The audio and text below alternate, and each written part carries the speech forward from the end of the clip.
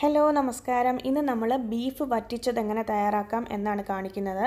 അര kilo Pakistani boneless ബീഫാണ് എടുത്തേക്കുന്നത്. ഏത് ഇനം ബീഫ് വേണമെങ്കിലും നമുക്ക് എടുക്കാം. എല്ലുള്ളതും എല്ലില്ലാത്തതും എടുക്കാം. ഇവിടെ പാകിസ്ഥാനി ബീഫാണ് എടുത്തേക്കുന്നത്. പിന്നീട് നമുക്ക് മിക്സിയുടെ ചെറിയ ജാർ എടുക്കുക. അതിലേക്ക് പച്ചമുളക് ഇഞ്ചി വെളുത്തുള്ളി എടുത്തു വയ്ക്കുക അതിനുശേഷം മഞ്ഞൾപ്പൊടി മുളക് പൊടി മല്ലിപ്പൊടി കുരുമുളക് പൊടി ഗരം മസാല പെരിഞ്ജീരകം നാരങ്ങയുടെ കംപ്ലീറ്റ് നീരും. ഒരു അത്യാവശ്യം വലിപ്പമുള്ള ഒരു നാരങ്ങ എടുത്തിട്ടുണ്ട്. അതിന്റെ കംപ്ലീറ്റ് നീരും എടുക്കുക. കാര്യം നമ്മളിവിടെ തക്കാളി ചേർക്കുന്നില്ല. ഈ നാരങ്ങയുടെ പുളിയിൽ വേണം നമ്മളുടെ ബീഫ് കുക്കാവാൻ ആ ഒരു ടേസ്റ്റ് കിട്ടാൻ. പിന്നീട് ആവശ്യത്തിന് ഉപ്പിട്ട് കൊടുക്കുക. കാൽ കപ്പ് അല്ലെങ്കിൽ അരക്കപ്പ് കപ്പ് വെള്ളം ഒഴിച്ച് കൊടുക്കുക. എന്നിട്ട് ഇത് നല്ല മഷി പോലെ നമുക്കങ്ങ് അരച്ചെടുക്കാം. ഇതാണ് നമ്മളുടെ ആ മാജിക് മസാല എന്ന് പറയുന്നത്. ഈ മസാലയുടെ ടേസ്റ്റാണ് നമ്മളുടെ ബീഫ് വറ്റിച്ചതിന് ടേസ്റ്റിയാക്കി തരുന്ന ഒന്ന്. ഇനി ഒരു കുക്കർ എടുക്കുക. അതിലേക്ക് നമുക്ക് മൂന്ന് ടേബിൾ സ്പൂൺ വെളിച്ചെണ്ണ ചേർത്ത് കൊടുക്കാം. പിന്നീട് കടുക് പൊട്ടിക്കുക. കറിവേപ്പില വറ്റൽമുളക്. കംപ്ലീറ്റ് കടുകും ഒക്കെ പൊട്ടിക്കഴിയുമ്പോഴത്തേന് നമ്മൾ അരച്ച് വെച്ചിരിക്കുന്ന മസാല ഇതിലേക്ക് ഇട്ട് കൊടുക്കാം. അത് എന്നിട്ട് അതിന്റെ ആ ഒരു പച്ചമണം മാറുന്നിടം വരെ ഏകദേശം രണ്ടോ മൂന്നോ മിനിറ്റ് നേരം മീഡിയം ഫ്ലെയിമിലിട്ട് നന്നായിട്ട് കുക്ക് ചെയ്യുക. അതായത് ഈ മസാലയുടെ മേളിൽ എണ്ണയൊക്കെ തെളിഞ്ഞു വരും. അതുവരെ ആ മസാല നന്നായിട്ട് മിക്സ് ചെയ്യുക. അതിനുശേഷം കഴുകി വൃത്തിയാക്കി വെച്ചിരിക്കുന്ന നമ്മളുടെ ബീഫ് ഇതിലേക്ക് ഇട്ട് കൊടുക്കുക.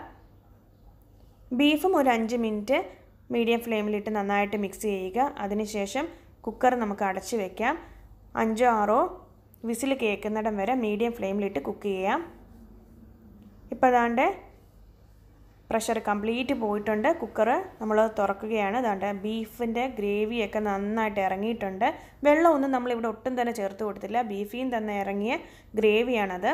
പിന്നീട് മൂന്ന് സവാള കൊത്തി അരിഞ്ഞെടുത്തിട്ടുണ്ട്.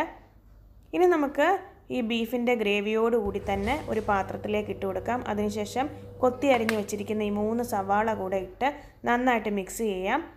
പിന്നീട് നമുക്ക് ഒരു ടേബിൾ സ്പൂൺ കുരുമുളക് പൊടിച്ചതിട്ട് കൊടുക്കാം. ഇനി ഇതിന്റെ പരിപാടികൾ കംപ്ലീറ്റ് നമ്മൾ ലോ ഫ്ലെയിമിലിട്ടാണ് കുക്ക് ചെയ്യുന്നത്. കാര്യം ചെറു തീ കിടന്ന് ഈ ബീഫ് നന്നായിട്ട് കുക്കായി വരുമ്പം അസാധ്യ ഒരു ടേസ്റ്റാണ് ടൈം കൺസ്യൂമിങ് ആണ്. പക്ഷേ എന്നാൽ കൂടി ആ ഒരു രീതിയിൽ കുക്ക് ചെയ്താലേ കറക്റ്റ് ആ ഒരു ടേസ്റ്റ് നമുക്ക് കിട്ടുകയുള്ളൂ. ഇനി നമുക്ക് ജാതിക്ക പൊടി കൂടെ ചേർത്ത് കൊടുക്കാം. അര ടീസ്പൂൺ ജാതിക്ക പൊടി ചേർത്തിട്ടുണ്ട്. ഇത്രയേ ഉള്ളൂ. എന്നിട്ട് നന്നായിട്ട് ഇപ്പോൾ ദാണ്ട് ആ കംപ്ലീറ്റ് ഗ്രേവിയും വറ്റി വറ്റി വന്നിട്ടുണ്ട്. ഏകദേശം അരമണിക്കൂർ എടുക്കും ഈ ഒരു പ്രോസസ്സ് നന്നായിട്ട് മിക്സ് ചെയ്തുകൊണ്ടേയിരിക്കുക.